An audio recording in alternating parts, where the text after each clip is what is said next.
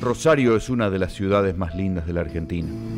A diferencia de Buenos Aires, está construida de cara al río y así el Paraná aporta sus mejores paisajes. Hay zonas que parecen Puerto Madero, otras San Isidro. Pero cuando cae la noche en los barrios periféricos de Rosario, algo cambia. La radio policial se activa. Se nota un índice del delito a partir de las 18 horas, de 18 a 22 o 23.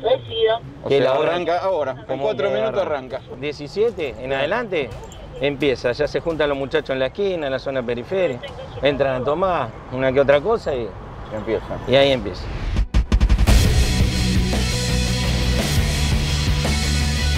¿Qué se está escuchando picante? Y 19, 32. ¿Vamos para allá? No, a mí me quiso pegar y le pegó a ella. Yo me descompuse, a ella sí le pegó una piña. Bueno, A lo que vieron en la calle, vi en la casa. Se sintió los lo, lo disparos nomás. Y acá ¿Eh? la espalda y en el brazo. Ocho impactos de balas contra el Centro de Justicia Penal. Una decena de balaceras e inmuebles vinculados a tres jueces. ¿Te ha tocado esto que llama tanto la atención, que son las balaceras, ¿no? los, los tipos que barren una casa a tiro? sí, justamente ayer tuvimos una. ¿Qué pasó, no en moto? La familia que está acá manifiesta que no se la escuchó nada, no vio nada. Sintieron los, los disparos nomás. ¿Cómo va? ¿Cómo andan? A ver, cerrame la puerta, ¿eh?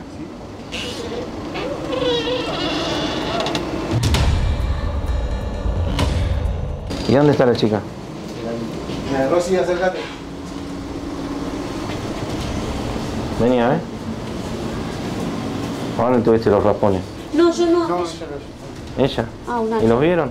Ella ahí, no. Y acá ¿Eh? en la espalda y en el brazo. Se sintió los lo, lo disparos nomás.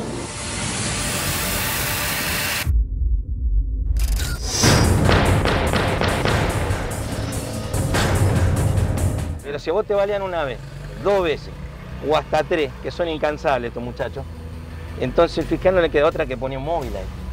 Cuando vos pones un móvil ahí un tiempo, las cosas frenan, pero vos perdés un recurso ahí. Claro.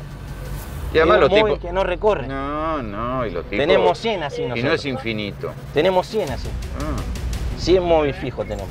¿100? Sí, ¿100? 100. ¿100 patrulleros custodiando lugares baleados? Sí, de todo. Mierda. Sí. Hola. ¿Vos decís que hay les 101 patrulleros Fijos. por todo Rosario? Y que están La puestos... premisa es la, la balacera que hubo últimamente acá ya escucho al 4000, ¿no? ¿Teníamos el fijo este? ¿Cuánto hace que estamos? dos, semanas. ¿Dos semanas que está este, más o menos? Dos semanas. Dos semanas a raíz de, la- de las últimas balaceras. Creo que fueron seguidas en, en 3-4 días, también 3-4 días. Pero no se sabe contra quién fueron. Sí, contra estos domicilios acá enfrente. Ah. Y son, este, todo, estimamos, vinculados al narcotráfico. Y entonces ordenan los puestos Ajuste de cuenta. Ajuste de cuenta. Y estos son los puestos fijos. Está bien, pero es un patrullero que perdés. Sí, patrulleros que perdemos en la calle. Por la custodia. Sí, son las directivas. Pero está bien. No, es que es lógico que esté No, acá. Sí. Pero lo no, perdiste. lo perdimos en la calle. Y hay 100 de estos. Siempre. Qué difícil. Difícil. Muy difícil.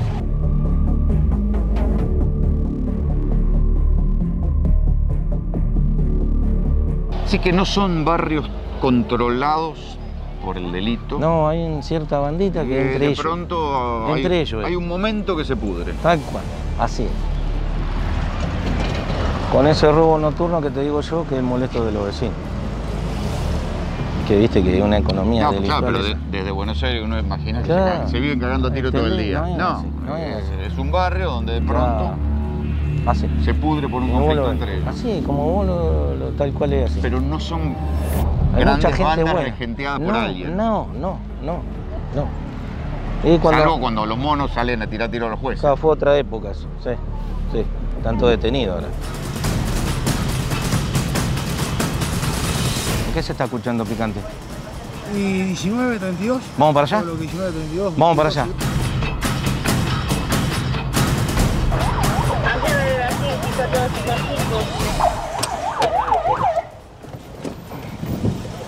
Fíjate qué pasó. ¿Cómo fue? Acá en la vía, ¿quién lo mueve? ¿Estuvieron los tiros? Ahí vienen detenidos.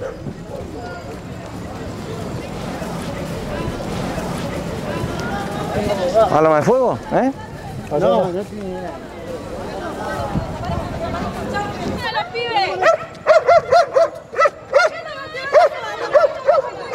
¿Vos no, te- no hicieron nada esto? Pará, pará. ¿Eh? Bueno, el de blanco está, está. Si no tiene nada que ver, ¿eh? Bueno, anda, déjala, anda, anda, anda. Anda que no quiero tener. Escúchame. ¿Se pelean al lado de la comisaría? Están todos afuera y la otra vez agarraron a tiro acá. Fue una balacera terrible, ¿sabes? ¿Acá? Acá, ay, ay, ay. Porque esta familia no la quiere a la otra. Fue impresionante, fue. Bueno, que vamos justo, ustedes lo vieron en el momento. Adentro, vayan todos adentro, vamos, vamos. Bueno, este es un episodio típico en la noche de Rosario. Una pelea de vecinos, arranca. Fíjense dónde estamos, estamos al lado de la comisaría. Y la pelea de vecinos puede escalar, porque si interviene la policía, lo más factible es que después terminen todos tirándole piedras a la comisaría. Por eso vienen las- los escuadrones de intervención rápida a funcionar como los bomberos. Aparecen muchos policías, se calma el quilombo, se dispersa la gente y la noche sigue adelante. ¿Qué le hizo? ¿La amenazó la señora? Eh, fue el cumpleaños de la nenita, le pegó a ellas dos. Ah, le pegó a las dos. Pareja. No, a mí me quiso pegar y le pegó a ella. Yo me descompuse, a ella sí le pegó una piña. Bueno, ya está detenido. Siéntense, tranquila, la va a tomar su mariante, ¿eh? ¿Qué son, del barrio? Sí, acá. ¿Y la, la pelea por qué? ¿Por qué les pegan ustedes? ¿Por qué les pegan? Eh. ¿Qué pasó, guacho? Eh. ¿Por qué está? Necesito hablar con mi abogada. Eh, ¿Por qué está? No, yo estoy por un homicidio. Yo le puedo dar el- Y este consulta para el fiscal. Bueno, está borracho. este.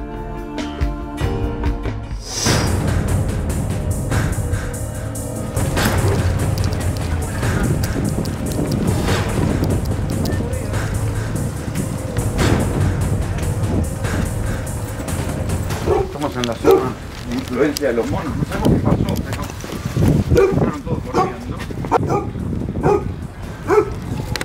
Acá hay más gente detenida.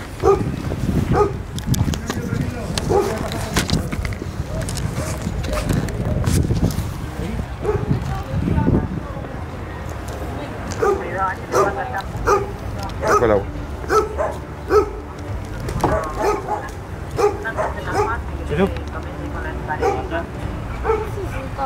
Cárgate un que buscar. Claro, Vean lo que es esto, ¿no? Vean.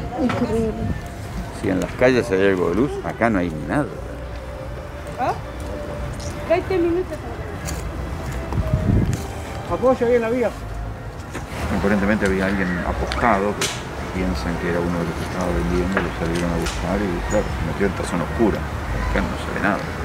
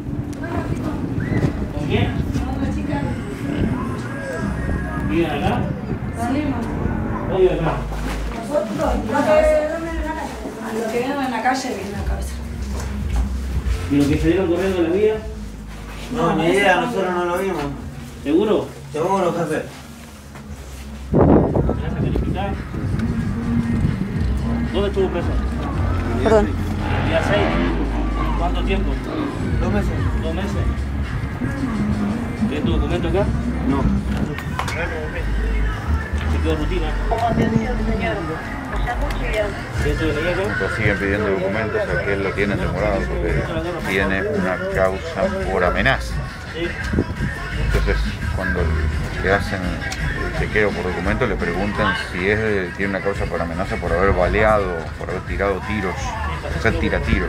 Dice que no, que es un problema personal con su pareja.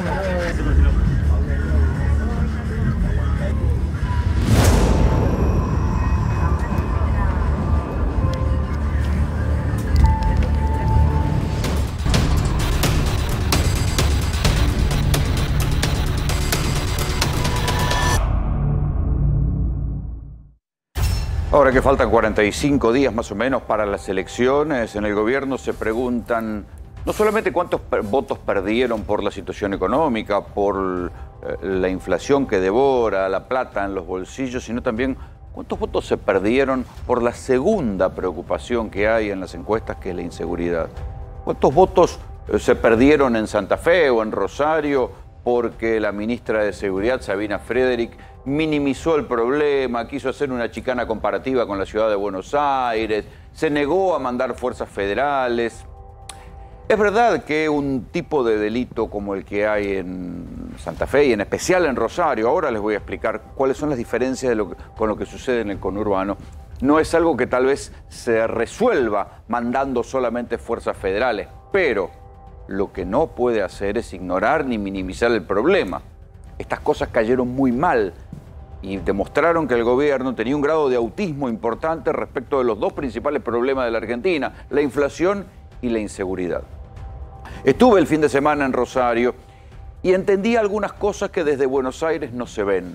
Eh, lo que pasa en Rosario no es como lo que a nosotros aquí en el conurbano nos llama la atención, que es el homicidio en ocasión de robo, que es el delito hoy por hoy que más nos deja este, congelados. ¿eh? Así como en otra época eran los secuestros, bueno, hoy por hoy lo que más irrita es ese homicidio en ocasión de robo, que es un homicidio entre desconocidos.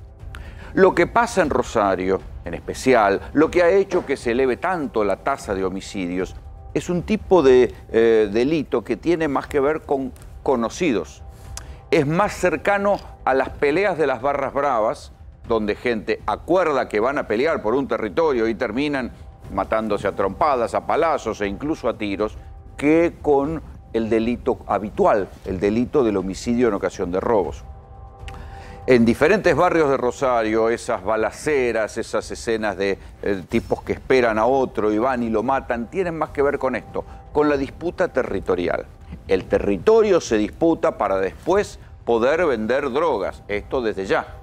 Pero también atención, porque lo que ha pasado en Santa Fe después de tantos años y años de críticas y de fracaso es que la policía ahora investiga de otra manera y cae de otra manera. Yo estuve con esas patrullas, que son unas patrullas que eh, van, van recorriendo Rosario y caen en cualquier distrito de modo tal que si hay un comisario que tiene a alguien protegido, bueno, le caen estas patrullas que pueden andar por cualquier lado y que no tienen ninguna relación con ninguno de los lugares. Pueden estar en el norte, pueden estar en el sur, pueden estar en el oeste y le pueden arruinar el negocio cualquier comisario.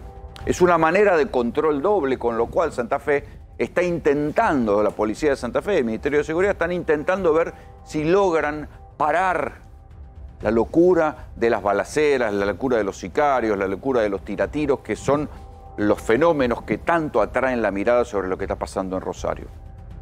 Rosario hay niveles de pobreza similares a los del conurbano. En Rosario hay, por supuesto, hay delitos, no es que es un paraíso, pero uno puede ir de vacaciones a Rosario, puede andar paseando por Rosario y no le va a pasar nada. No es que de pronto va a quedar en medio de un tiroteo.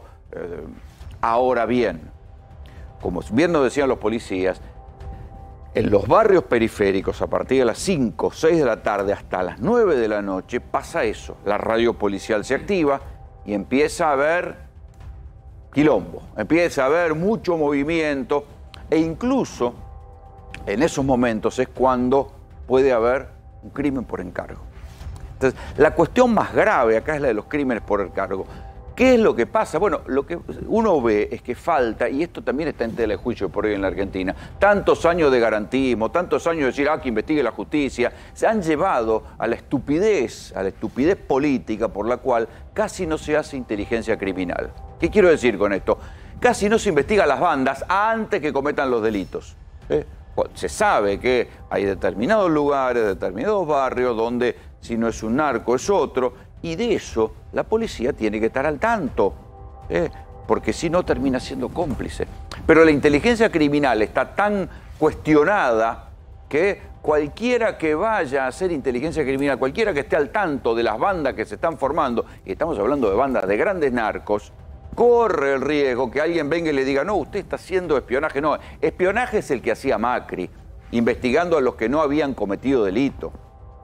La eficiencia en algunas investigaciones de grandes bandas tiene que ver con la inteligencia criminal. Y esto es lo que ha quedado en un lugar gris en la Argentina. Hay pocos casos de grandes bandas que se hayan desmantelado con la justicia. Miren, La investigación más interesante la llevó a cabo el juez Sergio Torres cuando unificó todo lo que pasaba en la Villa 1114 y aledaños ahí en Flores todo eso le iba a parar al juez Torres y ahí empezó a, juntar los cabos sueltos, porque claro, si se investigaba un homicidio de un lado, mm, un pan de cocaína en otro, no se llegaba a ningún lado porque iba a parar a diferentes fiscalías, los fiscales no se hablaban entre sí, unos eran manoduristas, otros eran garantistas, no se compartía la información y no se llevaba a ningún lado. Cuando, recién cuando el fiscal, el juez Sergio Torres unificó todo eso, se pudo ir haciendo diferentes causas contra los narcoperuanos. ¿Están desmantelados? No. ¿Achicaron su operatoria? Sí. ¿Podían haberse convertido en algo mayor? Seguro. Hoy por hoy, todavía hoy se sigue deteniendo en las segundas y terceras líneas de Marcos, pero todo eso partió de una unificación inteligente de las causas. Esto es lo que hay que hacer en Rosario. Ahora esto se ha convertido en el primer desafío de, de seguridad para el nuevo ministro Aníbal Fernández. Aníbal Fernández lo primero que hizo fue reunirse con el gobernador Perotti para ver qué hacían con las bandas de Rosario. Otro de los problemas ahí está en las cárceles. Y estas son las cosas delirantes que pasan en la Argentina.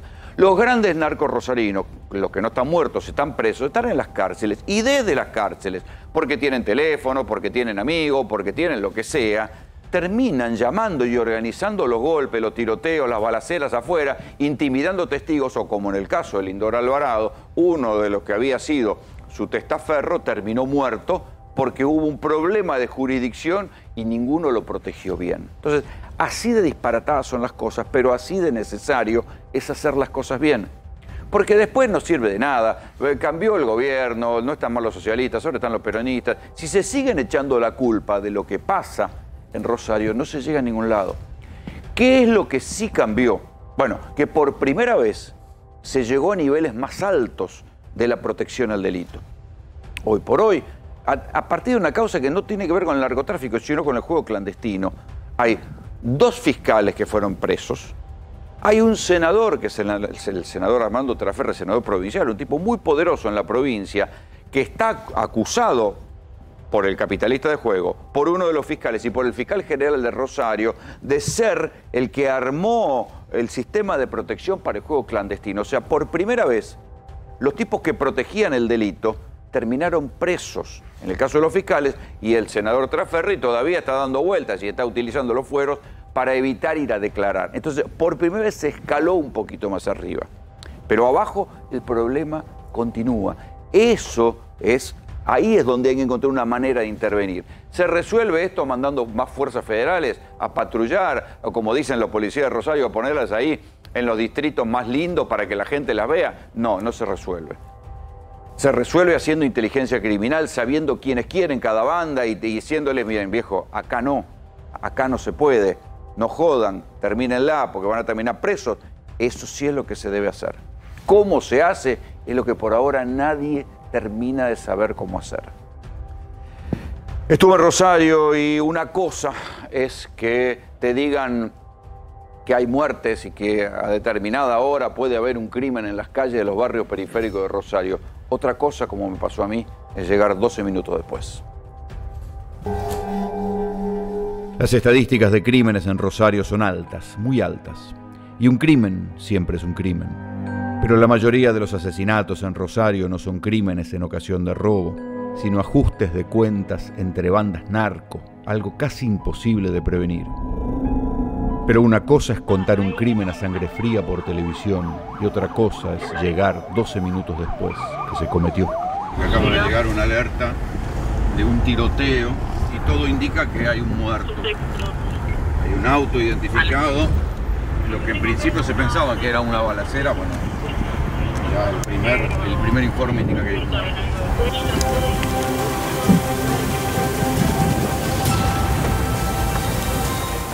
Efectivamente era un muerto. Alguien muy joven o muy chiquito. Sí, porque sí. todo lleno de vainas.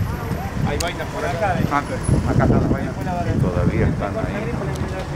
Las vainas servidas. Están buscando un Corsa gris. Es un varón.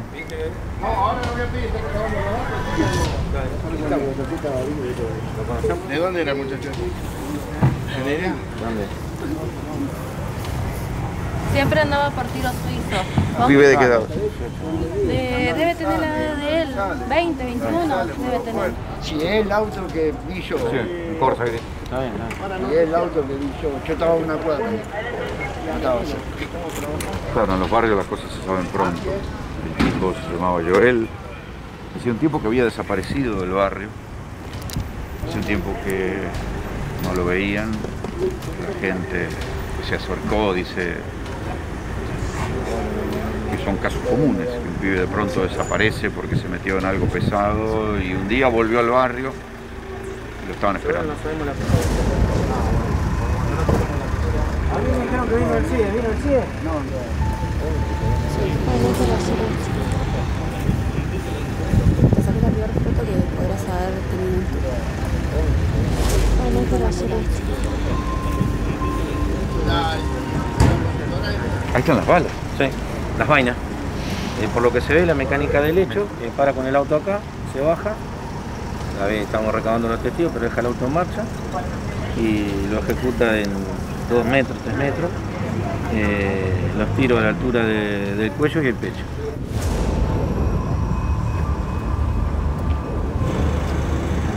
Al rato llegan los familiares de Joel y confirman lo que ya habían contado los vecinos. No te puede pasar. No te puede pasar mucho tiempo. Pará, que no se puede tocar nada. Las cosas se saben rápido en un barrio. El pibe había salido hace poco de la cárcel, iba a firmar su libertad condicional, estaba trabajando en un taller de soldaduras acá a dos cuadras. Ahora está muerto. Se llamaba Joel, Joelito, tenía 21 años. Joel había salido hace poco de la cárcel, tenía problemas con las drogas, andaba escondiéndose. Será por eso, porque todos sabían del peligro. Esta noche nadie lloró por Joel.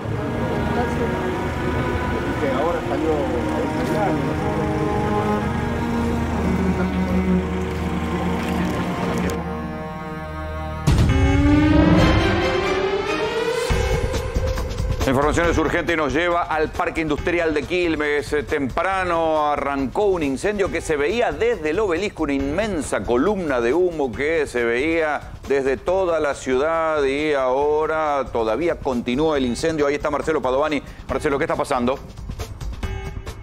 Tremendo, Rolando. Mira, esta es la imagen a esta hora aquí en la pantalla de A24 en tu programa. Destrucción total de siete galpones, Rolando. Galpones de 40 metros de frente por 80 de largo.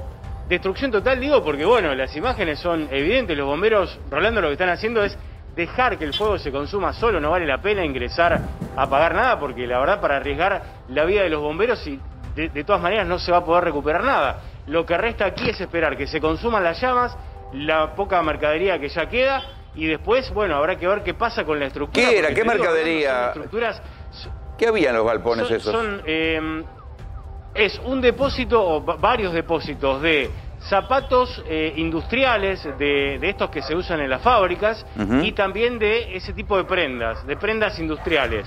Y bueno, mirá lo que ha pasado, se ha expandido por siete naves, por siete galpones. Pero las ese siete, tamaño. los siete galpones Tenemos, son de indumentaria o, o había otras cosas también. bueno, ap- ap- sí, aparentemente sí, eh, aparentemente esto, son todos galpones con depósitos de, indumentaria y zapatos. Es la información, la primera información que tenemos. Eh, no ha trascendido demasiado detalle acerca de esto, pero es sí, es, es- aparentemente es de una misma empresa. Lo que, las explosiones que estás escuchando son de, de productos inflamables, porque también hay- había aquí acopiados productos inflamables aquí o en el galpón lindero. Eh, es enorme este predio, Orlando. Estamos en, en Bernal, ¿no? Quilmes Sí, claro. Oeste, la zona de Quilmes Oeste. Se Te- veía la Sí, columna de humo negro desde toda la ciudad. ¿eh? Sí. Bueno, vos sabés que veníamos por la autopista, parecía una nube de tormenta. ¿Viste esas tormentas este, eléctricas con, con las nubes negras? Bueno, algo parecido se veía para el lado del Río de la Plata cuando vos venías para la zona sur por la autopista La Plata-Buenos Aires. Te agrego este dato. Aquí nomás hay una UPA, una unidad de pronta atención médica. Bueno, allí hubo algunos evacuados. Eh, no hubo heridos, felizmente, no hubo heridos eh, aquí ni, ni víctimas fatales, mucho menos, por supuesto, gracias a Dios. Sí, Hubo porque el incendio empezó ya la después, gente, eh, ya después sí. de las 5 de la tarde, me parece, ¿no? O sea, como a la Cinco hora de que la ya se habían ido Sí, los, sí. los obreros. Correcto, correcto. Después de las 5 de la tarde comenzó, bueno, eso ha minimizado este, la presencia de heridos, pero hubo tres bomberos, me decía la gente de salud de, del municipio, con principio de asfixia, pero que felizmente ya están siendo atendidos y están eh, fuera de peligro y se están reponiendo satisfactoriamente. ¿El humo que- afectó la circulación de la autopista? llegamos- No, de la autopista no. Ah, la visibilidad, decís vos. No, no, porque la nube estaba muy alta, ¿eh? Mirá, se va muy alta, Rolando, la, la nube de, de esta nube negra que ustedes veían. No, no, no. Hasta el momento que nosotros vinimos, la, la visibilidad no estaba afectada, pero sí estaba afectado el tránsito en toda esta zona. ¿Por qué? Y porque aquí hay cortes por todos lados para permitir que pasen, eh, pase la ambulancia. Y cuando decís que se afecta esta zona, se afecta también la zona cercana, el Camino General Belgrano, que estamos aquí muy cerquita, que es una arteria central también, te diría, para eh, unir la zona sur con eh, la ciudad autónoma de Buenos Aires, sí se vio muy afectado. Mirá, Claro. de hecho todavía Mientras está vos estás- el tránsito. Mira, ya tenemos... Claro. Mientras Sí. vos estás contando, nosotros estamos mostrando una imagen aérea ya de la noche y estamos viendo que son varias cuadras de, de galpones. ¿eh? Sí, sí, son galpones enormes eh, con... bueno, ahora han bajado un poquito las llamas, pero hasta hace un rato nomás tenía llamas, yo le calculo... Mirá, no sé si han bajado tanto, ¿eh? me equivoqué me parece, ¿no? Porque son llamas que llegan hasta el techo prácticamente, acá las puedo ver de este lado del paredón, aquí estamos en un paredón con un cerco electrificado, con alambre de púa, eh, pero claro, esto hoy no tiene ningún tipo de función. Sí lo que impresiona es lo que está pasando del lado de adentro. Lo que eh, nos dicen son, reiteramos esta información, Rolando, de grande superficie, siete galpones de enorme superficie. Te digo, de acá hasta, de donde estamos nosotros, hasta el camino General Belgrano, que allí Dieguito me va a mostrar, son aproximadamente unos 500 metros, Rolando. Mirá, Claro. estamos... Y, y todo esto, todo este sector se vio afectado, ¿eh? Y aquí... ¿No hay este peligro de que avance sobre las casas? No, porque acá hay un paredón, lo máximo que puede pasar es que se prendan los árboles, digamos, acá los árboles que tenemos acá, pero no, no, no tiene más eh, espacio para venir para este lado el fuego. Digamos, se lo pararía este paredón. Eh, las casas, mira, vamos a mostrar, eh. Mira, acá está el barrio, bueno, de hecho, cuando llegamos estaba toda la gente aquí, Claro. había cientos de personas, y ahora ya han quedado menos, pero bueno, Sí, la pero gente están- estaba en ese momento. Están con el fuego no- enfrente. Sí.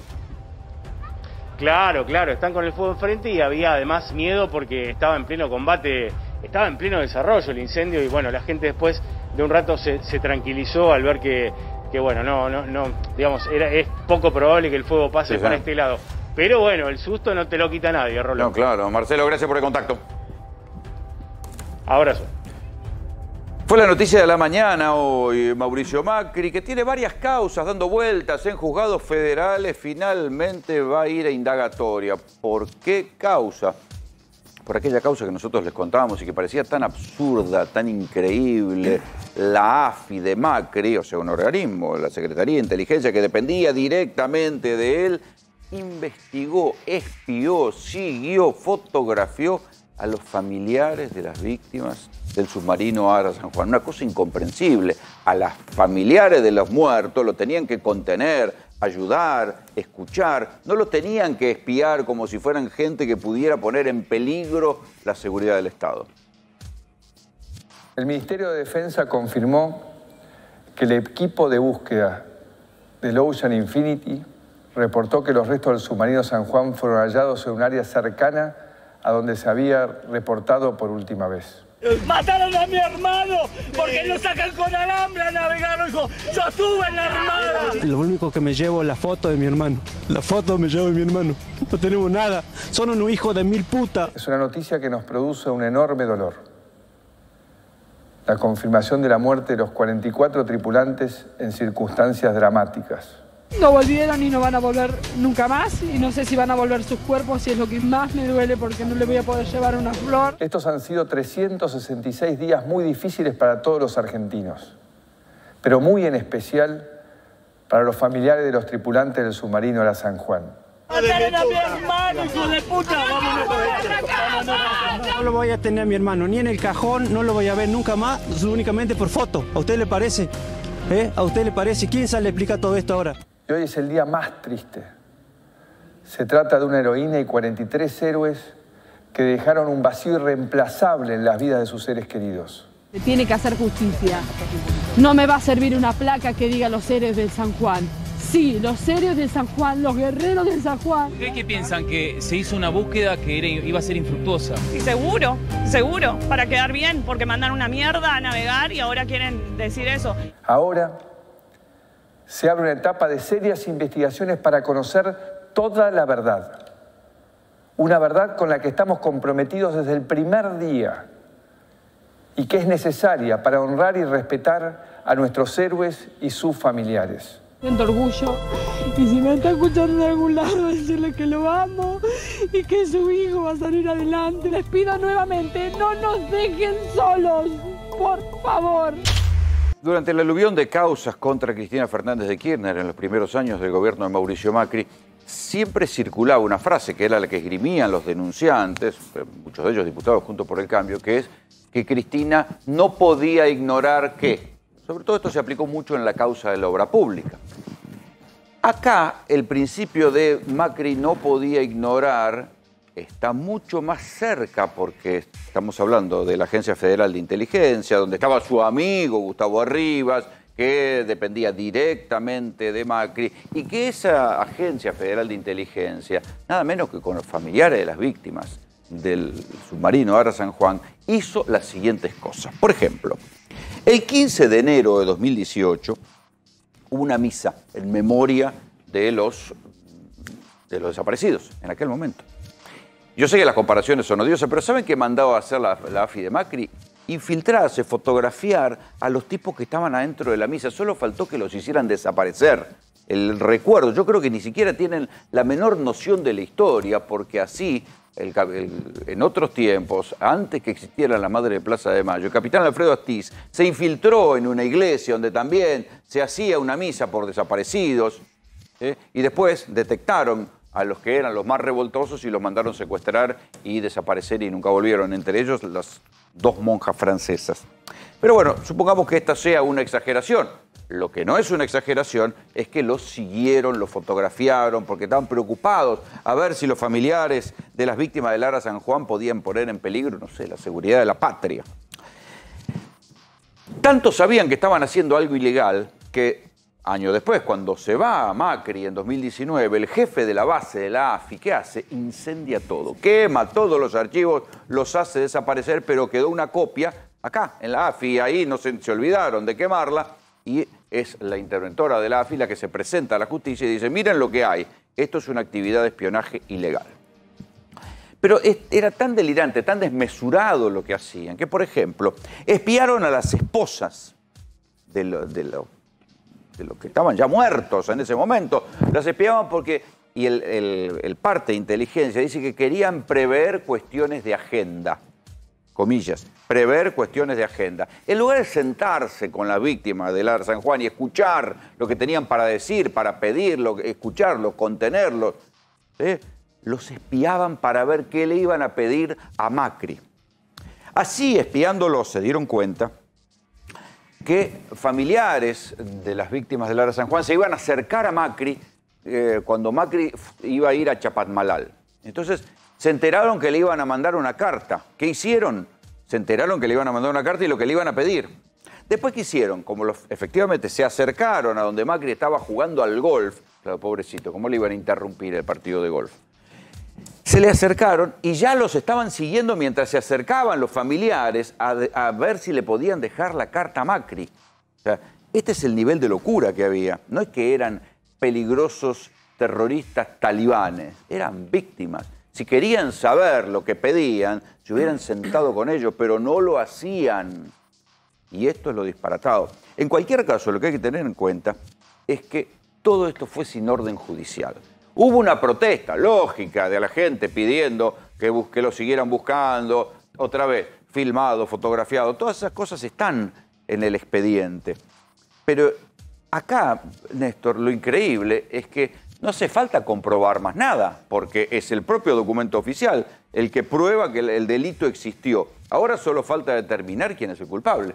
La resolución del juez Martín Baba muestra mucha de esa documentación a la que hace alusión y qué es lo que tiene de novedoso este llamado indagatoria, que es la primera vez que un juez en la media docena de causas por espionaje ilegal que están desparramadas en distintos fueros, es la primera vez que un juez dice que el beneficiario de la inteligencia ilegal era el presidente de la nación. Esto es lo que marca la diferencia con el resto de las causas. Igual ahora, ya sabemos, van a apelar, de, de ahí va a venir como Doropi, va a manotear la causa, va a decir que la jurisdicción, porque en, lo- en lo- en los términos probatorios está probado, no hay nada más que probar, es casi confesión de parte. Solo resta ver cómo la pueden escamotear y demorar. y además rompe la argumentación del cuentapropismo de la inteligencia. Hasta ahora en todas las causas te venían diciendo, bueno, son grupitos marginales que hicieron cuentapropismo de inteligencia. Aquí lo que dice el juez, lo vamos a ver en estas placas, es que Macri fue el que ordenó y el que se benefició de la producción de esa inteligencia ilegal. Mira, compartimos algunos párrafos de lo que dice concretamente el, el- el imputación, la imputación que le hicieron a Mauricio Macri. Se le imputa desde su cargo de presidente haber ordenado y posibilitado la realización sistemática de tareas de inteligencia que estaban expresamente Claro, prohibidas. Pero esto no es que solo se le imputa, están los documentos. Sí, claro. Y nadie los pudo negar. Sí, claro, los documentos. O sea, no los documentos están, la- las no tareas se están- hicieron. No solo están, sino que están publicados. El, el fallo tiene 166 páginas. Es de re- lectura recomendable porque ahí está contado cómo fue toda la secuencia y explica, mostrando los documentos. Hay fotos que son dolorosas porque muestra a la viuda, que por entonces no sabía que lo era, sentada frente a la base naval de Mar del Plata, con cara angustiada, mirando hacia la nada. Y es una foto de que le noticia. sacó un, un pelotudo al que le pagamos el sueldo, viejo. Esa mujer que estaba sufriendo sin saber qué pasaba con su marido 500 metros en la profundidad del mar, esa mujer que estaba sufriendo estaba siendo espiada. A ver, todo esto se hizo con dinero público, además. O sea, a, a todos estos tipos que espiaron, a las personas que el Estado debería contener, además, los espiaron con plata de todos nosotros. Valeria Carreras es abogada, viene llevando la causa de los familiares de Lara San Juan. ¿Cuál es la gravedad de todo esto? Esto es mucho más grave de lo que pensamos, porque existen causas de corrupción en donde el valor es el dinero. Existen causas de eh, gatillo fácil en donde lo que está en juego es el rol policial y o la vida ¿no? de, de la tercera persona. Pero en este caso están en juego las instituciones. ¿Cómo puede ser que un presidente y que una agencia federal de inteligencia se concentren en un puñado de mujeres dolientes que acababan de perder a sus seres queridos justamente por culpa del Estado? Que ya probaremos si hubo culpa o dolo, ¿no? Pero ¿cómo puede haber sido tan cruel, tan ruin, tan impiadoso, incluso el botón que estaba ahí sacando fotos, que no dijo no? La voy a dejar en su minuto de, de dolor, de, de reflexión, y después le saco la foto, por lo menos. Pero no, no, no, ni siquiera eso. No tuvieron una cuota de, de empatía con el dolor que estaban sintiendo. Y, al- perdón, y algo importante, sí tenían una misión. Proteger a Macri de cualquier tipo de reclamo, de cualquier tipo de organización de marcha, de cualquier cosa que afectara su Eh, que- imagen. de Lo su partido de golf, que no, le, que no le violentaran el partido de Voy golf. más allá, eh, Rolo.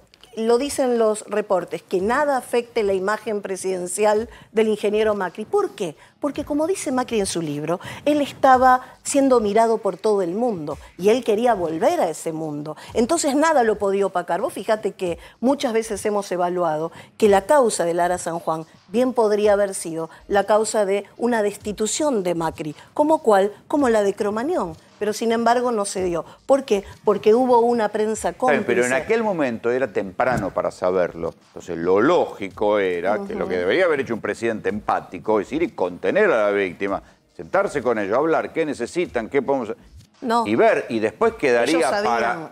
Rolo, Ellos ¿Vos decís sabían. que ellos sabían? Sí, el día miércoles 23 de septiembre estuve en Caleta Olivia frente a Amo Coroa, que era la mano derecha de Aguad, incluso procesado en la causa de comunicaciones, y se le, le pregunté directamente si el- la Dirección Nacional de Inteligencia y Estrategia Militar tenía relación con la AFI. Dijo, sí, trabajan juntos. Sí. ¿Sabes cómo, cómo empezaron a sospechar los familiares de los 44 que estaban siendo espiados? Mauricio Macri los recibió en una sola oportunidad en la Casa de Gobierno. fueron un grupo de familiares, se entrevistaron con él y cuando se sentaron a la mesa, Macri tenía una carpeta. En esa carpeta constaba todo lo que le iban a pedir en esa reunión. Es decir, tenían una carpeta de antemano todos los datos de lo si, que habían si querían acordado. saber, si querían saber que le iban a pedir, supongo, si hubieran reunido con ellos, hubieran mandado un asesor, un funcionario, alguien a reunirse con ellos, aunque no fuera de la Armada, y se hubieran enterado. No es que era una asociación ilícita pedirle algo al presidente. Esto es lo delirante. Mira, cuando hacen, perdón, cuando hacen las capturas de pantalla, que ustedes las han visto, de eh, los Facebook de las señoras, eh, claro, en ese dolor y en esa impotencia, decía, ¿qué hace Macri que no sale a buscar a, a- a- a mi marido? ¿Qué pasa, Watt, que no mueve este, las naves? Eh, eso está en captura de pantalla puesto como parte de la investigación y de El la nivel de paranoia. de la ficha de esa mujer. Pero lo peor fue, ¿vos te pensás que entrar a una base es algo fácil? No, ¿verdad? Nosotros no podemos entrar a una base. claro. Este, entonces hay una connivencia entre la AFI y la Armada porque así hacían entrar a los infiltrados, a las brujas, a los parapsicólogos que ¿qué hacían? Las distraían. De- ¿Brujas y parapsicólogos? Sí, sí. De hecho, dos, dos No, navegaciones no me digas que había brujas de la CIDE, de la AFI. eh, mandadas, por supuesto, sino cómo ¿Y entras... que era para escuchar, para no, espiar? era para, para distraerte. Si yo voy y te mando una bruja que te dice, los veo con barba, creen que están con vida y van y exigen y esperan y creen. Y la, la segunda cuestión más cruel fue que le subieron al O sea, les mandaban brujas a propósito Sí, para sí. distraerlos. Hemos buscado con el fiscal Adler, mientras tuvo la, la- la instrucción, hemos buscado esos nombres que ellas tienen en, en su Facebook y ya no existe más el usuario. Brujas truchas. Claro, Eh, imagínate que hay un- una de ellas que decía que era ciega, pero entraba y decía todo lo que quería que se hiciera, que después siguió en contacto con una de, de mis representadas y le decía, ustedes tienen que votar por tal empresa para que las busque. Muy extraño, ya ahí no tenía nada que ver. Entonces yo lo que digo es, ¿cómo se han burlado el día que fueron a la Casa Rosada de ellas? eh, que llevaban en un papel un petitorio y en esa carpeta roja ¿Cómo está esa gente hoy? hoy están aliviadas porque dicen, teníamos razón. Esto no es una novedad. Lo toman como diciendo, ahora se dan cuenta. Se lo dijimos en la cara, mostramos los celulares, ahora se dan cuenta. Pero bueno, es un... Es un, como le digo yo, es un escalón más. Y aparte que tenemos mucha conciencia de que muchas cosas de la causa principal fueron digitadas, porque por ejemplo hay una comunicación de Marcos Peña que durante una semana hablo con un vicecomodoro detrás de una radiobaliza y entonces cuando dan la orden en Caleta Olivia, manden buscar ese registro, automáticamente Marcos Peña en este, los me- medios hegemónicos sale a decir que Estados Unidos le avisó que la habían perdido. Cuando, a ver, Baba lo cita a, a Macri, a Indagatoria y los procesa a, a Rivas y a Mazdalani. Y a toda la línea. ¿Cuáles son los fundamentos principales por los cuales, eh, digamos, dicta esa resolución? porque hizo uso de todo el aparato estatal en beneficio propio, porque el fin último del espionaje era eh, proteger su investidura, porque no podía ignorar en cuanto a la cadena de mando y en cuanto a la cercanía de los eh, designados como el uno y, la señora Maclalani, este, por su relación personal. No lo podía este, ignorar. Pero hay algo más que no lo dice Baba, pero, sin embargo sí lo cita.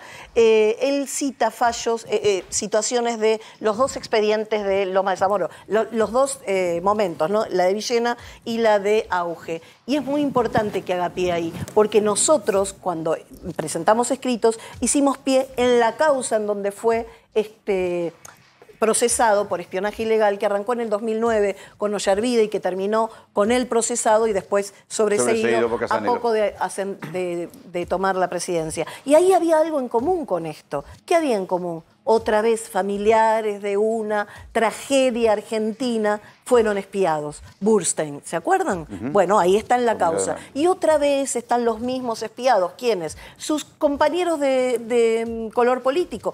La reta es querellante en aquella causa de Ollarvide. Era. En aquel momento lo fue. Ahora lo es también en Lomas de Zamora, ¿eh? ¿Todavía? Sí, sí, sí, se presentó ante Villena, se presentó Larreta, se presentó Santilli. Hay un dato importante, Rolo, en el contexto este. E- Este expediente por el cual Macri fue llamado a indagatoria es un desprendimiento de la causa central, que es la que se originó en Lomas de Zamora y que hoy está en Comodoro Pi. En esa causa está al salir un fallo de la Cámara Federal en Comodoro Pi que podría decretar una nulidad de origen, porque sostiene que la causa se originó a partir de un hecho que es nulo, que hubo una, un- el fruto del árbol envenenado. Sí, sí, pero es lo que te digo. la- los, da- los hechos están probados. este no, ¿eh? Espiaron este a todo no. el mundo. Habla de la y solo lo único que pueden hacer es meter una chicana para que se caiga. Claro, pero el tema es que si se cae esa causa, si sale ese fallo, es muy probable que Macri y ninguno de los investigados vaya nunca a declarar en indagatoria. Que En esto esa. que estamos viendo hoy... En esa. En esa. En esa. ¿Y en Mar del Plata? Se presentó incluso el Colegio de Abogados, perdón que, que agregue este dato, el Colegio de Abogados como querellante, que ya era parte en Loma de Zamora, se presentaron por todo ese run run que hubo hace dos semanas que la Cámara iba a anular todo eso. Así que se presentó para evitarlo, porque no podemos dejar impune algo así. Ni algo así con periodistas, ni algo así con abogados que van a tener su entrevista con este, sus defendidos, sus pupilos en, en la penitenciaría, ni algo tan tremendo como esto. Y te lo voy a separar esto. ¿Por qué? Porque es una causa, como dijiste vos, empezó con la prueba. Empezó con la prueba. Yo solo tenía que buscar quiénes fueron los responsables. Y te voy a decir algo. Yo me, me he peleado muchísimo con, con el juez Baba, este, porque todo el mundo sabe que tengo mal carácter y soy informal. No digas. Sí, y le pido mil disculpas. Eh, pero justamente eh, yo le pedía, tenemos tres cosas más para investigar, profundícelo, profundícelo. No, no y no. Se circunscribió a lo que había en los discos. ¿Por qué? Seguramente previendo todo esto que nos va a rodear y merodear, como hoy que los medios hegemónicos decían, bueno, pero no es tan grave. Doctora, de- No es tan grave. del- Así lo dijeron hoy a la mañana, ¿eh? Respecto del juez Bama... hoy Bueno, no, surgió- perdón. Grave debe ser porque hay un silencio en Cambiemos. Digo, nadie salió a decir nada. Ninguno de los dirigentes, corríjame, yo hasta, hasta hace un rato, ninguno salió a decir nada, ni a, ni a solidarizarse con Macri, a decir que es un partido tampoco con político. ellas. ni na- por supuesto. No, bueno, eso hace tiempo. O sea, solo salió este, mm, eh, Macri a decir que era parte de una campaña en su contra, persecución política, elecciones, qué sé Y yo. Pero nadie más habló. La anuncia anticipando su abogado que va a plantear la incompetencia. Es, Es decir, son claro, de manual. ¿Por qué? es Porque lo quieren traer acá. Es- exactamente, no pueden discutir el fondo de los hechos, que ya están probados. Claro. Lo único que pueden hacer es A, demorarlo, B, utilizar alguna cuestión procesal para que se caiga, que es lo que están haciendo como Doropí. Esto es lo interesante, a ver si nos entendemos. Muchas veces en las causas judiciales hay una versión, hay otra versión, y uno dice una cosa, otro dice la otra, se contrapone, hay que probarlo. Acá está todo probado, por eso lo único que necesitan hacer es dinamitar la causa para que se caiga. Pero probado está. Respecto del juez Baba, hoy recibió sus primeros carpetazos después del llamado a indagatoria, diciendo que había sacado un 2 en un concurso, lo cual es cierto, sacó 23 sobre 100 en un concurso en 2008 en el que fue declarado desierto porque ninguno alcanzó 40 sobre 100, que es el mínimo. En ese, en ese concurso ninguno alcanzó esto. Y nadie dijo que el juez Baba, que hoy llamó indagatoria Macri, es un veterano de Malvinas. Combatió como conscripto en la guerra de 1982. A todo esto, esta semana hubo un episodio que yo no entendía. A ver, usted que eh, se mueve ahí en el ámbito de la Ciudad de Buenos Aires, ¿qué pasó? La legislatura hizo, sacó una ley para que la Corte Suprema de la ciudad revise fallos. Revise los Esto fallos tiene- es de para el las correo. cámaras nacionales. Para hacer Claro, zafar a máquina del correo, es lo que interpretamos todos. Claro, hay dos lecturas. Una la que hace, digamos, la política en general, que tiene que ver con la causa Correo Argentino, para, del lado de Cambiemos, y del otro lado el problema es si zafa o no zafa Macri. La otra cuestión que por ahí nos va a importar mucho más a todo el resto de la población es, por ejemplo, que en el fuero laboral siempre, o sea, cambiemos de qué viene hablando hace rato. De, De sacar las indemnizaciones. Bueno, entonces, lo que no pueden hacer por vía legislativa, por ahí lo van a querer hacer por vía judicial. Y lo mismo sucede, si se quiere, digo, está Pero claro ¿esto qué que... sería? Hay una sentencia un tribunal laboral y vos la podés apelar a la Corte de la ciudad. De acuerdo a esta ley, a esta ley de la legislatura, se podría... La verdad es que, Otra de todos modos, la, ¿Y la. Corte Suprema qué dice? ¿Y la Corte Pero Suprema te Nacional una- qué te tengo una novedad. No, no, la Corte Suprema en algún momento en, en lo que fue... eh, ¿Queda pintada? La Corte tiene dos expedientes sobre esto. Uno es este, la causa Correo y el otro es un reclamo de la familia del artista plástico León Ferrari contra el periodista y Levin. Gabriel Levinas por la liquidación de unos cuadros que vendió y que nunca le rindió. En esas dos cuestiones, uno en civil y uno en comercial, la Corte, con un dictamen en contra de la ley que aprobó la legislatura del procurador Eduardo Casal, en contra de esa ley, la Corte todavía no se pronunció. Rolo, permitime que diga algo que no dije todavía. Yo en la madrugada, en la mañana de hoy, presenté una denuncia contra la autora del proyecto eh, de esta modificación de la ley 402, que es eh, González Estebarena, por tener eh, por lo menos conflicto de intereses y antiética en la función pública por ser parte del directorio de Puerto Madero, la corporación Puerto Madero, eh, por supuesto vinculada a, Mauricio Macri y al gobierno de la ciudad, por haber sido y ser parte de AUSA, Sociedad Anónima, sobre la cual pesan dos causas, eh, también en en donde Macri se benefició con en unas 600 millones y otras 100 millones. Entonces, con ese grado de cercanía, por lo menos que investigue este, la justicia si fue motivada el proyecto de ley en algún tipo de beneficio para Macri. ¿Qué- el- vos me decías que puede revisar fallos laborales. Esto es. Sí, esto es lo que por ahí le va a importar más al grueso de la población. Porque esto- porque la justicia Una laboral cosa es que siempre. Macri se proteja, otra cosa es que le cague la vida a la gente. es pro trabajador, ¿sí?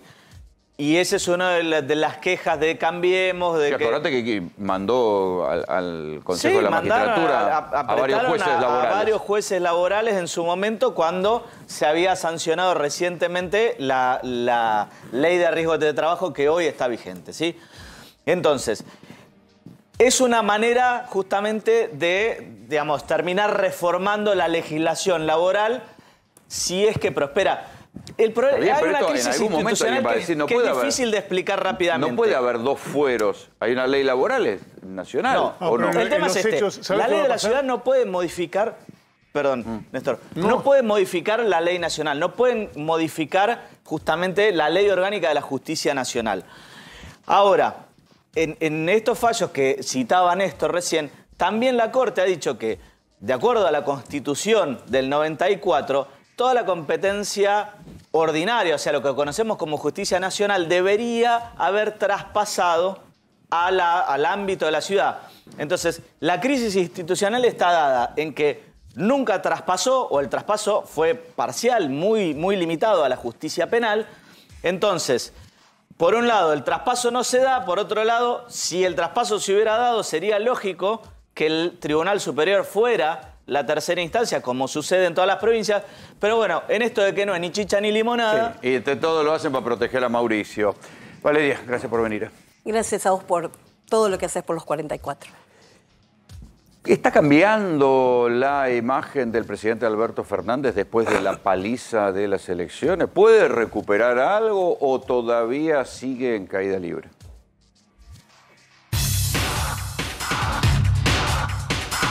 ¿Cambió tu imagen de Alberto después del cambio de gabinete? Totalmente. ¿Para bien o para mal? Y no, porque está haciendo eh, lo que tendría que haber hecho desde un principio. No, no, no cambió para nada. Está igual. Sigue siendo la misma, sí. Yo creo que puede las figuras que han tomado, sobre todo este, al estar Domínguez en la parte del agro y la agroindustria, eso puede caminar bien. Necesitamos exportar para tener divisas. ¿Tenés confianza en este nuevo gabinete? No, no, para nada. Y para mí influyó para bien porque es como tener una, una respuesta ante el voto del ciudadano. No, de ninguna manera. Ningún cambio de nada me va a hacer cambiar la, la opinión que tengo sobre el gobierno. No. Así de negativo. Así de negativo. ¿Pensás que la medida fue acertada? Vamos, vamos a decir que sí. Vamos a decir que sí. ¿Cambió tu percepción de Alberto Fernández luego del cambio de gabinete? Luego del cambio, sí, para peor. Puede ser bueno en este momento para dar un poco más de, de énfasis y, y tomar medidas que corresponden, ¿no es cierto? Porque desgraciadamente son muchas las medidas que hay que tomar para mejorar. Faltan también eh, un miembro del gabinete que sepa comunicar, que sepa comunicar. No saben comunicar. no saben hablar, son muy partidistas, no hablan para la gente, hablan para el sector. En realidad los cambios que está haciendo el gobierno son de dar más dinero a la gente necesitada. Este, bueno, todo eso sabemos que es para conseguir votos. Respecto a los anuncios para jubilados, ¿consideras que esta medida es positiva, es negativa? Es positiva siempre, porque estamos necesitados. Siempre es positiva, pero no alcanza. Digamos, es un paliativo. Lo que va a ser para los jubilados. Eso me gusta porque yo conozco muchas personas que pobres eh, se han quedado sin trabajo muchos años y han aportado muchos años y no se pudieron jubilar y ahora con esto es probable que puedan tener suerte. Lo que acá tiene que cambiar mucho es la justicia, porque desgraciadamente los ciudadanos no confiamos en nuestra justicia. Como le dicen el Comodoro Pro, desgraciadamente no funcionó. No funciona para la mayoría de los habitantes. Medidas tienen que ser drásticas, o sea, medidas que favorezca al pueblo, así subieron, ¿no? Que favorezca al pueblo. La verdad que el pueblo hoy no está favorecido por nada de eso. Ya cumplir 65 años y tenemos los mismos problemas de siempre. Ni siquiera tenemos problemas nuevos en este país. ¿Le das tu voto de confianza por ahora? Por ahora. La semana pasada nos pasamos hablando de ella en este programa, pero viste, como es una diva, no vino. No quiso venir. Eh, hablamos de su estudio, la imagen comparativa. eh, aquí eh, Raúl Timerman la citó, ese estudio, viste, y no vino. No nos dio pelota. ¿Y qué está pasando? Y hoy vino, viste, hoy, hoy se dignó a venir. Me parece muy bien. Tenés poder de ¿La convocatoria. saludamos o, Sí, o la ignoramos? no. Sheila Bilker, buenas noches. ¿cómo ¿Qué haces, Rolo? ¿Cómo ¿Estabas te va? por ahí? Nosotros lo hablamos de tu estudio, no había manera que atiendas. Qué cosa. Bueno, no podía. Eh, bueno. No estaba acá, ¿eh? Sí, No, ya sé, ya sé. Me dijo el verso ese que estaba en México, pero bueno. Números, ¿qué está pasando? ¿Qué está pasando? Está, está pasando que provincia de Buenos Aires no es todavía una cosa juzgada, que hay una situación difícil a nivel nacional para el oficialismo. Eh, No es todavía cosa juzgada. Mirá que te va a ir el grafo, ahí el, ahí el grafo, ahí. Y bueno, sí. A ver, lo que nosotros estamos viendo es todavía una escena de mucha, de mucha paridad nuevamente. Por supuesto, un poquito más arriba la oposición y todavía un gran número de indecisos. Un La gran- crisis, la crisis Alberto Cristina, ¿cómo pegó? Le pegó feo al oficialismo. Le pegó feo porque, te diría, se quejan hasta los propios. Eh, es algo que no le gustó a, a- nadie. Por supuesto, eh, los opositores sacaron pochoclo y los oficialistas, eh, los votantes oficialistas hicieron una mala sangre tremenda. Eh, y sobre todo lo que, digo, a ver, te diría que un efecto de sentido final de todo esto es los políticos se pelean mientras la sociedad la pasa, la pasa mal y no sale de todos sus, su- de todos sus, eh, sus, sus disgustos, sus Sí, y lo que la elección demostró que no había real conciencia de cuáles eran los problemas que afectaban al común de la población. Inflación, inseguridad, eh, y que después con- eh, también el- en el voto del Frente de Todos había habido una importancia terrible de la inflación. Yo igual, Rolo, a mí la verdad que me sorprende la sorpresa que se llevó el oficialismo con este resultado. O sea, yo creo que lo sorprendente justamente es esa... eh, Para mí o sea, también, pero a ver, yo supongo que un gobierno debe tener maneras de ocultar la opinión pública más sofisticada que salir y preguntarle al vecino. Sí. No- Y no- bueno, los estudios no se lo decían. ah, también, ah, sí, por supuesto, había muchos estudios que se lo planteaban. Por o sea que fue un acto de fe pensar que no Yo- iba a pasar nada. Yo creo que también acá, digo, la, la- la escucha también tiene sus caprichos. ¿Cómo escucha el gobierno lo que la sociedad dice a través de la opinión pública, a través de, de- de los distintos mecanismos que tienen para la escucha? Bueno, la escucha es algo caprichoso. O sea que lo escuchan, Eh, escuchan lo que quieren, querés decir vos. Y, a ver, de- nos pasa a nosotros en la vida cotidiana. Nos dicen una cosa y entendemos otra. Pero nosotros no Eh, gobernamos. No, por supuesto. Apenas gobernamos su- nuestras pobres vidas. Por supuesto, no, por supuesto. No, no, no, no estoy disculpando. Lo que te estoy diciendo es, mira, hay dos fenómenos muy caprichosos. La memoria es una, la escucha es otra. No es que hay una relación lineal de continuidad entre lo que la sociedad dice y lo que los gobiernos escuchan, ni hay una relación lineal entre lo que sucedió en el pasado y lo Mm. que se cree en el presente sobre el pasado. Son, capri- son fenómenos caprichosos. Raúl, hay una batalla ahora por 350.000 votos en provincia de Buenos Aires. Si recuperaran esos 350.000 votos, se dan por hechos, porque empatarían. Sí, en realidad votos que Cristina con Unidad Ciudadana los sacó. ¿Y a dónde fueron ahora? Bueno, eh, hay, hay todo un tema alrededor de eso. Primer punto. Tradicionalmente el peronismo en provincia de Buenos Aires saca 5 millones de votos. Sumados, si es Florencio Randazzo. ¿no? Sí, Massa. o- Sí. Ahora sacó 3 millones de votos. Le faltan 2 millones. ¿Dos millones de votos? 2 millones de votos. 900 mil no fueron a votar. 900 mil ¿Y votantes. cómo se sabe que son votos del peronismo? Se saben por un trabajo que hizo Inteligencia Analítica comparando 30.000 mesas, hay 33.000, 36.000. Tomó 30.000 mesas en la elección a diputados del 19 y la elección a diputados de ahora en la provincia de Buenos Aires.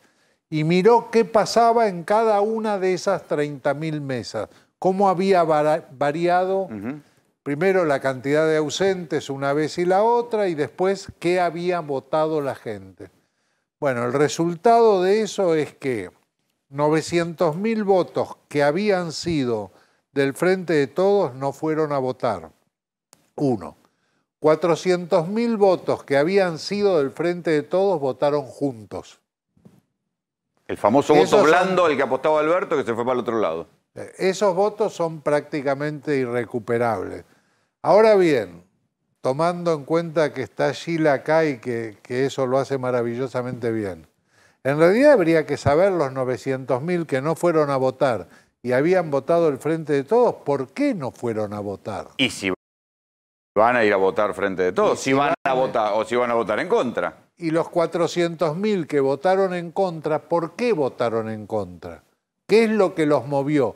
¿Cómo puede ser? Bueno, a nosotros, a algunos los llegamos a entrevistar y te Sí, decían sí. voto castigo. O sea, yo los castigo votando a la oposición. No eh, fueron, no fueron a pensar en terceras opciones. Votaron en contra a lo que más les dolía. La pregunta es si van a seguir ejerciendo ese voto castigo. ¿Y qué, qué varió? Y el- bueno, hay una respuesta del gobierno al voto castigo. Hubo prácticamente un cambio de gobierno. Vos fijate. Para tanto. Sí, hubo un cambio de gobierno. Vos tenés un nuevo jefe de gabinete de ministros, tenés un nuevo ministro de, de seguridad y tenés un nuevo ministro de agricultura y ganadería. Los tres da la casualidad que son pesos pesados de la política, son pesos pesados del peronismo y tienen antecedentes de gestión muy de en cada una de las áreas. Cambió, la dinámica cambió. A las 7 de la mañana lo tenés al jefe de gabinete cruzando al Ministerio de Economía, va a ver al ministro de Economía, va a ver al ministro de Transporte que está en el mismo edificio. Hay otra dinámica de gestión. Yo creo que el gobierno dio una buena respuesta al cachetazo de las urnas. Es más, Eh, Pero los anuncios, los anuncios económicos que se están esperando, me parece que por ahora tienen sabor a poco. Digo, bueno, eh, diferente hubiera sido si ponían la tarjeta alimentar para los jubilados. Sí, bueno, da la impresión de que no es muy fácil, digamos, cumplir con una cantidad de anuncios económicos que desde el punto de vista del deseo son fáciles de expresar, pero cuando los querés instrumentar y proteger de algún modo la macro después del 14 de noviembre, digamos, las cosas se complican un poco. De cualquier manera, eh, yo creo que fue bien recibido, habría que medir una vez que empezó a gestionar el nuevo gobierno. Vos fijate que Juanchi Zabaleta le venía diciendo a Alberto Fernández, a vos te rinde, yo veo cuando vos venís a mi intendencia, a mi zona, a mi territorio, te rinde cuando salís a caminar y hablas con la gente y entras en contacto con la gente y no te rinde el acto arriba del escenario. Y vos fijate que está haciendo eso ahora Alberto Fernández. Lo ves más Además, en... Zabaleta era uno de los pocos que en la intimidad le decía, ojo que vamos a perder. Sí, y le decía, señor. no, no puede ser. Bueno, Alberto no creyó nunca que... Escuchame una cosa. A las 4 de la tarde del domingo salió un boca de urno de Tito Bachmann diciendo que había 5 o 7 puntos de diferencia en la provincia de Buenos Aires. Estaba todo listo para el festejo. Empezaron a darse cuenta de que el resultado podía ser adverso cuando empezaron a tener el conteo oficial de los votos. Bueno, ese cachetazo es un cachetazo tremendo. Es como el que recibió Macri en Las Paso, que era, esto no pasó, dijo. Claro. Pero, lo porque esperaba Sheila, otra cosa. se veía venir, digamos, las elecciones en la Argentina se pierden por la inflación. Mira, ahí también vos ves esta cosa, recién hablábamos de la escucha. O sea, la, la escucha convencida que por otro carril, ¿entendés? O sea, esta cosa de creer que se ganaba, de salir a festejar. Digo, evidentemente... Estaban en una realidad Estaban- paralela. Exactamente. Y después la otra cosa que por ahí habría que para matizar, digamos, o sea, yo creo que además de voto castigo, o por lo menos esto es lo que empezamos a ver un poco en algunos estudios, además de voto castigo, hay se podría hacer otra caracterización de un voto, de un voto opositor a terceras fuerzas, que es un voto llamado de atención, que además lo enuncian de ese modo. ¿No? Digamos, o sea, cuando, cuando vos preguntas qué es lo que pasó en las elecciones, por supuesto lo primero que aparece es la idea de voto castigo. Pero cuando seguís en, en- en la charla, ves que hay electores, digo, el elector por supuesto que se mudó a Juntos por el a Juntos, claramente votó, fue un voto castigo, es un voto que difícilmente vuelva. Pero el voto que fue a terceros espacios, algunos que miraron a la izquierda, otros a Randazo, eh, digo, que estuvieron ahí el, el impugnado, el blanco, ahí hay una idea también de que más que castigo fue voto llamado de atención. ¿Qué es eso? Es, escúchame, dame bola. ¿Qué estás haciendo? ¿Qué estás haciendo? Hay una O sea, cosa, no, le no te quiero... una pregunta, Sheila. Aprovecho. ¿Cómo no? Gracias. Sheila, explícame qué significado tiene el voto a mi ley en la Villa 31. Mira, a ver, yo recién te he escuchado hablar del el voto peronista que no está. Y si efectivamente empieza a cambiar el tablero, y si efectivamente el peronismo deja de tener el peso que ha venido teni- teniendo históricamente, O sea, y está si- bien, ese- entonces es el final de un modelo, es el modelo redistributivo, el modelo de los planes. Esto es lo que yo creo que está pasando. Y es- Que en los planes que garantizaban fidelidad y clientelismo están llegando a un límite. Y ese mismo electorado es el que, harto de los planes, cobra los planes y se da vuelta y vota mi ley. Bueno, no, no, pues hay 50% de gente que recibe planes que no fue a votar. Además. Sí, Juan Pablo. Me interesa esto del, del voto llamado de atención. Quisiera saber si hay alguna manera, si tienen medido cuánto podría representar de, de, digamos, el voto que no fue al frente de todos y si tienen posibilidad de recuperarlo de acá a noviembre, que es el gran interrogante. Bueno, esto, esto del voto llamado de atención es una caracterización que viene de un tipo de estudios que no dimensiona, los estudios cualitativos que no te, no te dan un número de cuánto, o sea, después hay que salir a dimensionar eso. Eh, en principio es algo que aparece como forma de enunciación de cómo, se fue procesando esta elección, ¿no? Digamos, o sea, personas que vieron, eh, que dijeron voy, voy a, no voy a votar, no voy a votar por el gobierno, o sea, electores del 2019 del oficialismo, que en esta elección dijeron oficialismo no. Tampoco la lo que llaman oposición. De hecho, cuando vos en, en las charlas le planteás, bueno, pero votaste oposición, te dicen, no, no, no voté oposición. Yo voté peronismo, voté a Randazo. O yo voté minorías. No, no, no voté oposición, voté minorías, voté a la izquierda. O no, a mí no me gustaba ninguno, no voté oposición, impugné. ¿No? Digamos, entonces, hay un, ahí hay una Sí, y lectura de- crecieron, de, esos pequeños partidos crecieron mucho. bueno, es, todos esos segmentos hay que ver qué van a hacer de acá a noviembre. Lo que está claro es que no quieren ubicarse al interior de la idea del voto castigo y empiezan a caracterizar su voto como un voto llamado de atención. Sí, Rodrigo. Sheila, te hago una pregunta. Cuando vos estás hablando de que por ahí no leyeron bien la realidad, ¿vos crees que se apalancaron demasiado lo que fue el, eh, el- el éxito de la campaña de vacunación y dejaron librado al azar muchas otras aristas de lo que es fundamentalmente el gobierno, como principalmente la, la cuestión económica? Absolutamente. Mira, una de las cosas que pasa en los estudios cualitativos es el- la gente puede pasar media hora hablando del precio de la leche, de dónde se consigue a 60 pesos y dónde se consigue a 120 y cuánto tiene que caminar para pagarlo, a- para pagarlo ¿En a serio? 60 y de las marcas y lo mismo pasa con el tema de la carne. Y yo me animaría a preguntarte a vos si te rinden o no te rinden los informes sobre carne. Sí. Te rinden. Ok, es un problema que está ahí, que es el precio de los alimentos y el cambio en la alimentación. O sea, la ciudadanía te está contando los sectores medios, medios con Sí, sí. bolsillo totalmente Pero no, no, lo que, me, lo que me, me impresiona es que esto que digas que es un tema de conversación, que, o sea, tenés que utilizar tiempo de tu vida para discutir dónde carajo conseguís un sachet de leche más barato. Bueno, a, a ver, hay que cortar esa conversación. En, en los estudios hay que cortar esa conversación porque entran en esa dinámica y no pueden salir.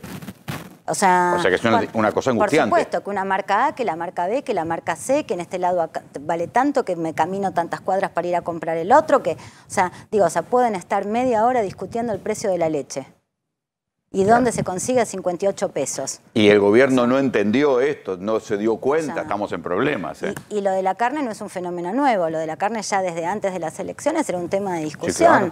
El, el tema de eh, la incorporación de la carne a la dieta una o dos veces por semana. ¿no? la Digamos, angustia de con- la gente con- cuando o nosotros sea, vamos y les preguntamos, ¿comés bueno. carne? Dice, no, hace un año que no como carne, hace seis meses que no como carne. El otro día salimos de compras con una jubilada que decía, no, queso rallado. Queso rallado. O sea, porque, la- es claro, y con toda lógica, si vos lo comparás a la evolución del queso rallado contra la inflación, no cierra nada, ni, ni- que Eh, se cotizara en Bitcoin. Es un producto de ricos el queso rallado. O sea, se convirtió en un producto de ricos. Entonces vos tenés hoy una población que realmente está atormentada por el precio de los No, pero alimentos. lo que me alucina es que vos decís que con- o sea, conversan como obsesivamente de esto. Y por Entonces, supuesto. estamos discutiendo, estamos pensando en, en otra agenda política, el gobierno está pensando en otra agenda política, incluso la de la pandemia, cuando en verdad el problema de la leche es el queso rallado. Y es eso lo que pone obsesiva a la gente. Es que están obsesivos porque es porque es el drama cotidiano, es el drama de todos los días. O sea, no es que no es que esto es un bueno, es un se dice. Esto es algo recurrente y que no es un problema solo de los sectores menos menos favorecidos. Hoy es un problema de los sectores medios.